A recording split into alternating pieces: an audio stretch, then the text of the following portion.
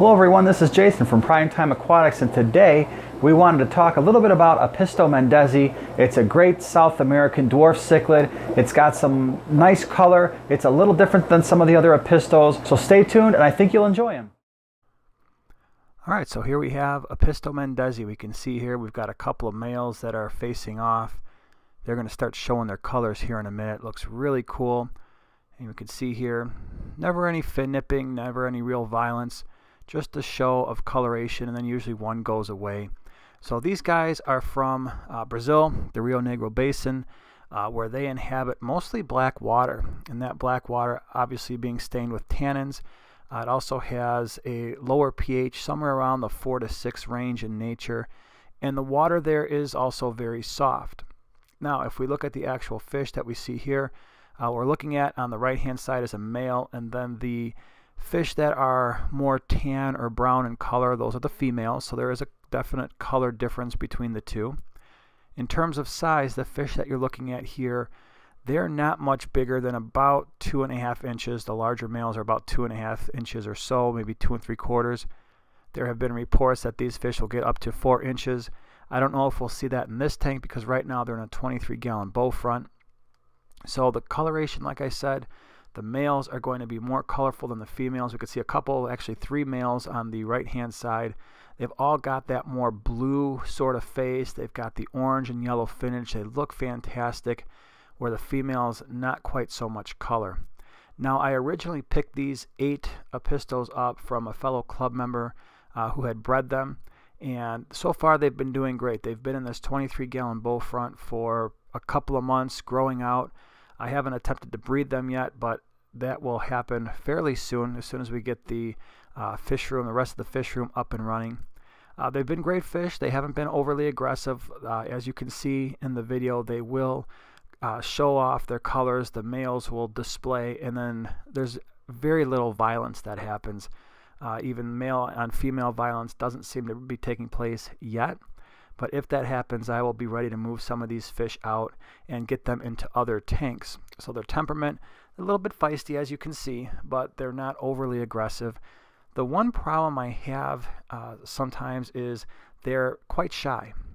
And I, am going to have to eventually add some dither fish, maybe some neons, uh, some type of tetra that can stand what's going to wind up being a lower pH eventually. Right now, this tank is set up using Chicago water and I've got the temperature set right around 76 to 77 degrees. They've been doing great as you can see. The pH, and this is what's uh, somewhat amazing, the pH right now that these fish are in is right around 7.2 to 7.4 and this is a fish that would come from a very low pH.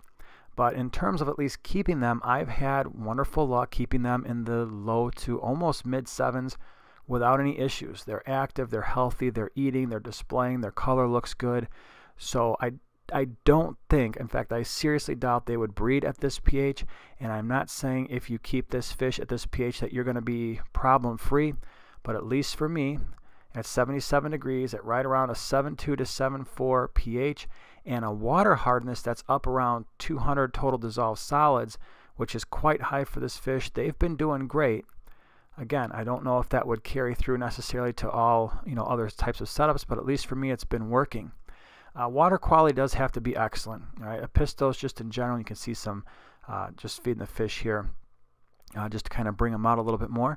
Uh, but water quality does need to be very good. Keep those nitrates certainly uh, below 40. Uh, most goal really should be 20 parts per million or less.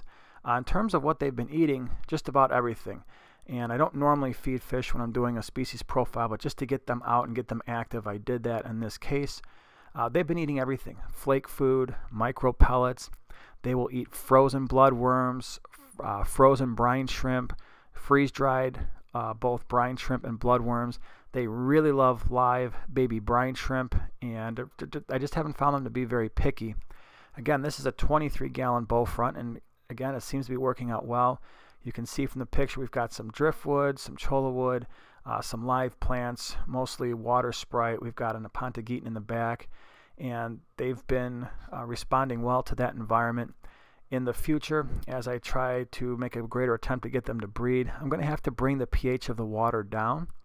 And I'm going to probably go ahead and add some leaf litter and possibly some more driftwood that still has a lot of the tannins left and get uh, that, that water, a little bit more black water. To get the pH down, what I'm going to do is use, and you can see some live baby brine shrimp being added right now, and they're just going to gobble that up because they love it. But to get the water, the pH of the water down, I will probably be adding some of my dehumidifier water to this tank slowly over time get that pH from a 7.2, lower that into the 5.5 range. Now, this is going to take a while, a weeks, uh, maybe on the order of a, a month or two. I want to do this slowly, and that will also bring down the water hardness, add in some caves, which is one thing that's missing in this setup right now. And then once that happens, I'll try to identify a male and a few females and let them go ahead and we'll try to get some, some fry out of them and move potentially move the rest of the fish to another setup and try to do the same thing and try to recreate that in another tank. So be looking forward to that. Uh, right now, I'm just happy. These fish are, they've been great. We could see one scarlet badis in there and uh, they've been getting along just fine. There's a bristlenose pleco in this tank as well. You know, other tank mates, again, the tetras that can, you know, maybe neon tetras, cardinal tetras, uh, would probably work out pretty well with these apistos.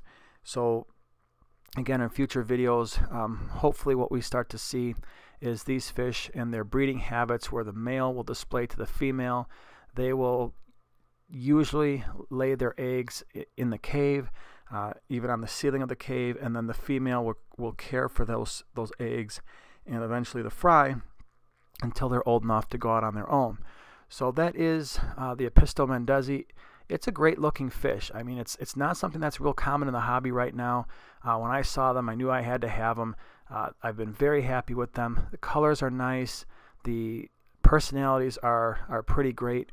And again, the addition of some dither fish will help bring these fish out, and that's something I plan to add once we get a real nice ecosystem up and running for these guys. All right, everyone, so that was Apisto mendezi. It's a great little South American cichlid, dwarf cichlid. They've got a decent amount of personality. They look pretty good. And so far, they've been really easygoing in terms of their care. So as we progress and as we start to breed them, hopefully, uh, you're going to see more videos on how to breed them, how to care for the fry. If you like this video, subscribe, share it. Thanks for watching, and we'll see you in the next one.